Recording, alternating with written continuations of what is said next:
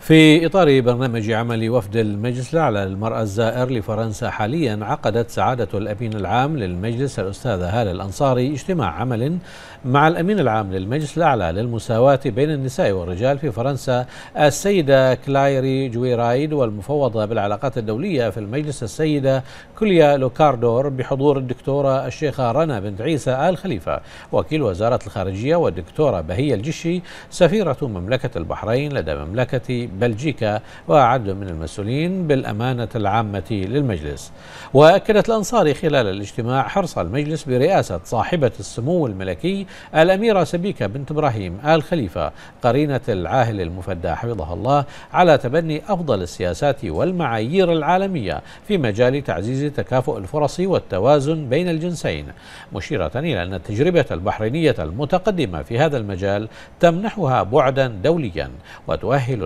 المملكة للدخول في علاقات شراكة متبادلة ومتكافئة مع المؤسسات الدولية المتقدمة في مجال التوازن بين الجنسين. وقدمت الأنصاري شرحا موجزا عن التطور المؤسسي للتعامل مع المرأة البحرينية حيث تم في بدايات إنشاء المجلس الأعلى للمرأة العمل على تمكين المرأة في مختلف القطاعات والذي تم التخطيط له من خلال خطة وطنية لنهوض المرأة البحرينية. تم وضعها بصورة تشاركية مع المجتمع وتم إدماجها في برنامج عمل الحكومة ومتابعة تنفيذها من خلال نموذج وطني لإدماج احتياجات المرأة في التنمية.